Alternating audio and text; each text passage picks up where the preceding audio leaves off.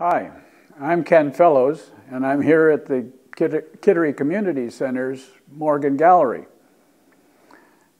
Most of my life, I was a physician, but since I retired about 20 years ago, I've been painting in watercolors. There are so many talented artists in this area. I learned a lot from many of them, but particularly the late DeWitt Hardy, who taught me to be bold in composition and color, and Norman West, who taught me color theory, uh, how to understand it and how to use it. I really enjoy painting the sea coast of Maine, and so I'm here with this exhibit, which is called The Sea Coast from Portsmouth to Stonington. There are many things that endear the seacoast to me. One of the prime ones is I enjoy the juxtaposition of the land next to the sea. In addition, in my paintings, I love to see the proximity of nature with all of its randomness next to the architectural structure, which is straight lines and angles of the seaside shacks, wharfs, and houses. Another aspect of my painting that I particularly like is the clear Maine light. To paint the light, I need to depict accurately the shadows. So you will see shadows in much of my work. Speaking of shadows, in my professional life, I was a radiologist.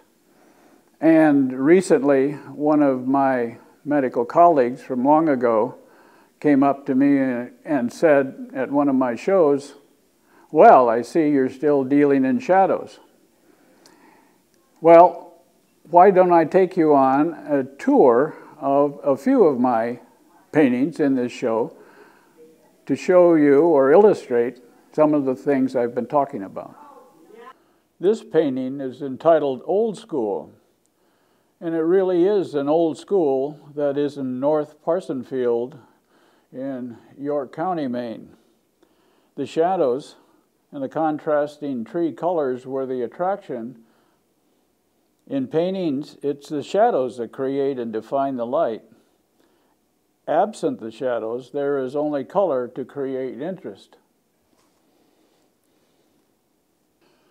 I call this painting Portsmouth Door. I like prowling the neighborhoods in and around Strawbery Banke. The architecture is fascinating. Even parts of buildings are interesting, like this door with its Christmas decorations. The shadows are subtle, but without them and the Christmas colors, it's just another front door. This painting is entitled Brave Boat Harbor. Like many artists, I seek out the light of the morning and late afternoon. Water is stillest at those times too, maximizing any reflections. In this case, the clouds overhead. Water reflections in paintings can be tricky. Overdone, they can be disorienting to viewers. One gallery watcher, after a first glance, asked me if I had hung this painting upside down. This view of Brave Boat Harbor is along Route 103 in Kittery Point, Maine. The painting is also a good example of distance perspective.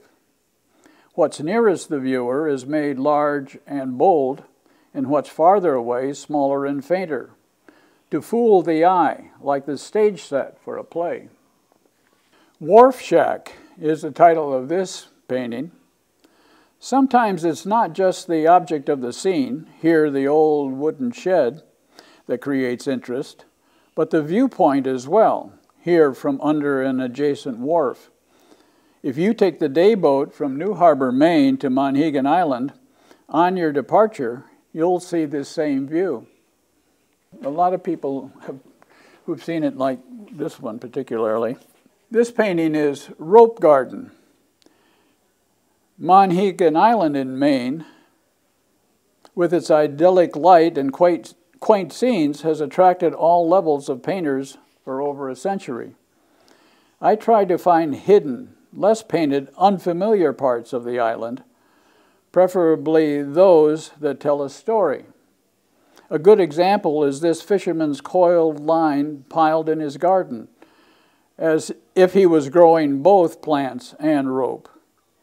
Watercolor painting usually requires a pencil underdrawing, which sometimes shows through to effect in the rope piles shown here. It fulfills another criterion for me because it tells a story. The title of this painting is Drying Gear. There are outdoor scenes I come upon, usually in early morning like this one, that feel like a still life just begging to be painted. And like any good still life, it tells a story or suggests one. This a reflection of a lobsterman's care of the fishing gear upon which his livelihood depends. And I didn't have to edit out any garishly painted lobster buoys, a cliched subject I assiduously avoid. This painting is Fish House, a popular historic place to eat on Monhegan is the Fish House. Specializing in fresh seafood dispensed under this sign, patrons dine on the adjacent harborside beach. This painting, entitled Monhegan Beach, is the place you take your food to eat from the fish house. Unlike most of my paintings, there's no shadows because it's a foggy day. Painting a foggy scene requires simulating what fog does. Objects nearest the viewer, like the picnic tables and the umbrellas, are clearly defined, while those more distant, like the boats in the water, become increasingly indistinct. This painting, called Jamie's House, illustrates my painting of fog also. Owned now by artist Jamie Wyeth, it's also known as the Kent House, after its original owner, the famous artist Rockwell Kent. So many great artists have painted and lived on Monhegan Island.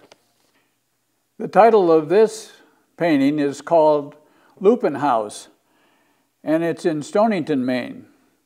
Stonington is my favorite place to paint. Its lobster boat harbor, the largest in Maine, has a special light that intensifies the natural beauty of its dramatic 19th century houses and architecture.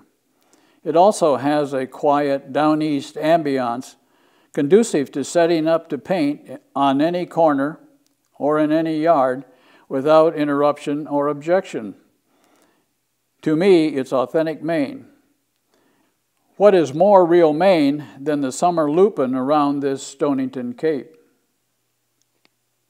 The final painting in this tour is In Town. It's also from Stonington. Even the smallest houses along the streets of Stonington display a uniqueness and charm, and I'm always tempted to paint them.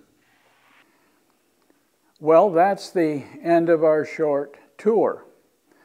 I want to thank the Kittery Community Center, a terrific resource for the citizens of this town, and particularly the Arts Committee of the Community Center for organizing and maintaining this Morgan Gallery. It's such a pleasure for me and the other many talented artists in this community to have a place in which to show our work. I again thank the committee and most of all I thank you for watching this video.